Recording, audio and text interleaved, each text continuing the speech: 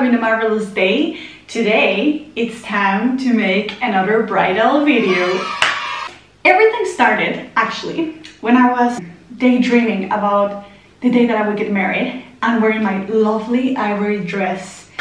And then I thought, if I need my phone at any stage on the wedding day, I mean, this is my actual phone case. But I love usually this color but it will look so bad next to my lovely ivory dress. I just feel like giving a disaster. Anywho, see, my name is Helen Velazquez and if it's your first time here, I am a Mexican traveler that is living in Ireland at the moment and I'm very so engaged. Actually, where's my ring? That's much better. I'm sorry. Moving on. I am engaged and I've been obsessed. When I say obsessed, I mean it over anything bridal. I just want to squeeze as much as I can out of the experience. So today, I'm going to teach you how to make a lovely bridal phone case. First of all, I have my nice self-healing cutting mat. I am in love with this and it's just great for covering surfaces, so I would recommend it, but you don't have to have one. I had to wait a month to get my lovely packages from Wish. I got a clear phone case, which I recommend. This one is a full cover, so we have front and back, which is, I think, very good. Just a clear cover.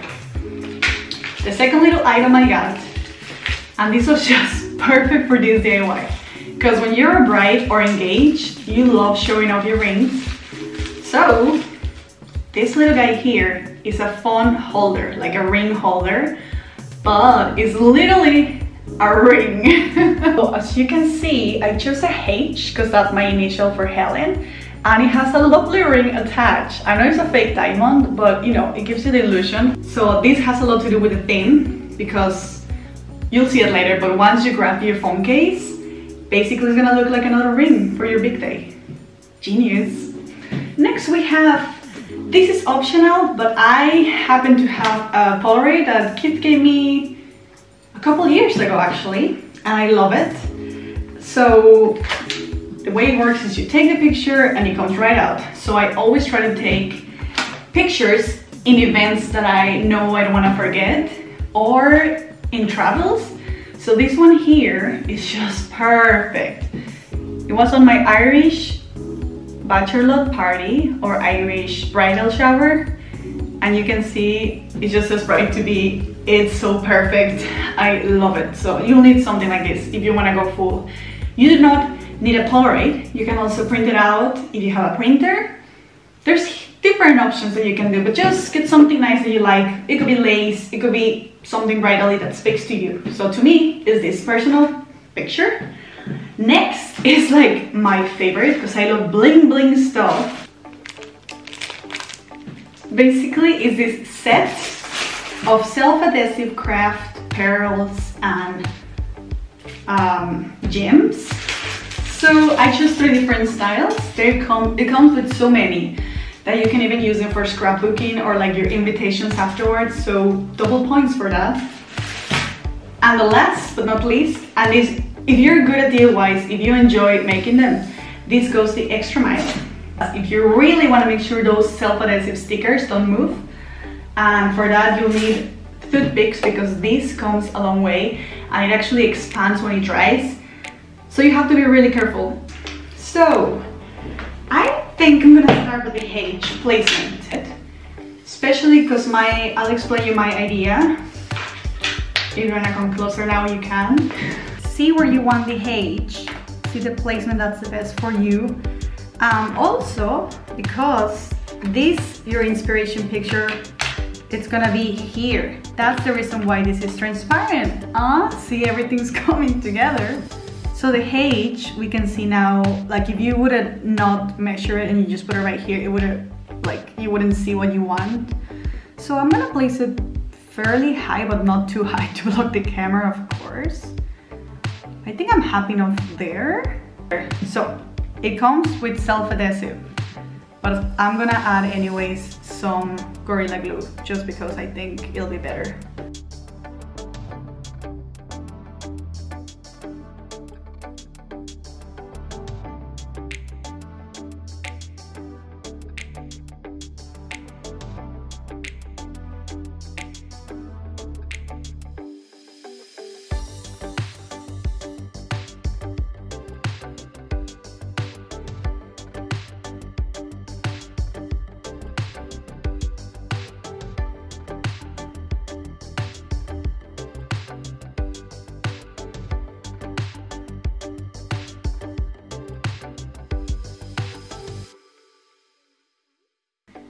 Now we just gotta wait till it really adheres.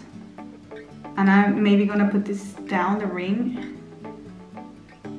Yeah, there. And let it be. It's looking nice already, like, oh my God. I think I could nearly leave it like this and call it a day. But you know what? It's your big day, so might as well go the extra mile. Now this is gonna make sense. The reason why I have this brooch, the reason why I have, I have this, it's only to replicate the bright kind of like word. So I'm gonna be putting my letters here, contemplating that I have my picture here. And so it's gonna look like this, and then that's when these guys come in. So I'm gonna use the pearls which are the smallest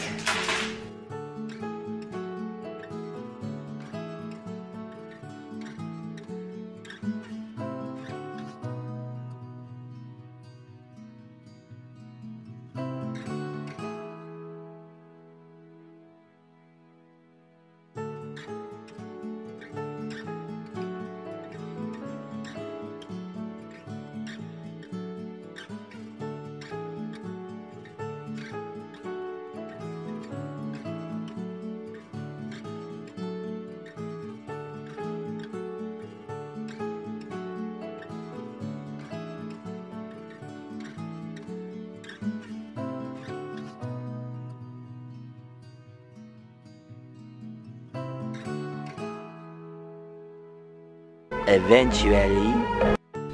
Oh my god, literally, I don't need this anymore. Just one last pearl. Last pearl, last pearl. Thank you for that. We can still use it for your hair. We don't have to rip you apart.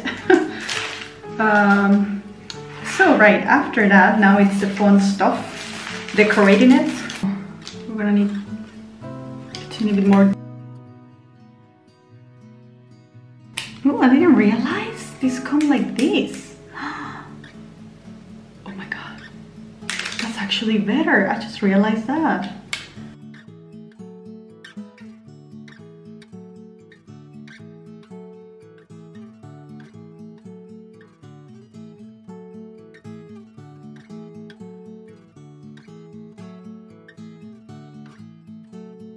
Cute. So far, this is the process.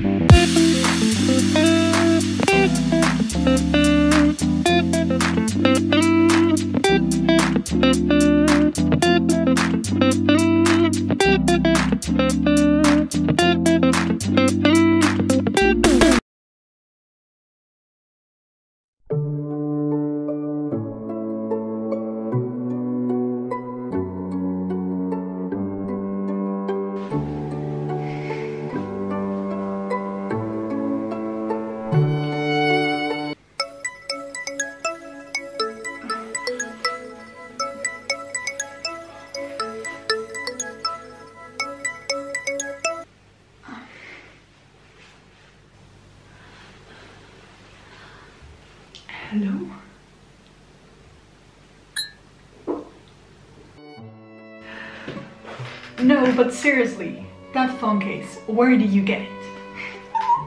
Guys, I am obsessed with how it turned out. I think this is a 10 out of 10. If may I say so myself. We got the sparkles, we got the 3D, we got the ring. I mean, it has all the elements. So I really hope you like this DIY. And you're gonna look amazing on your wedding. Take it from me.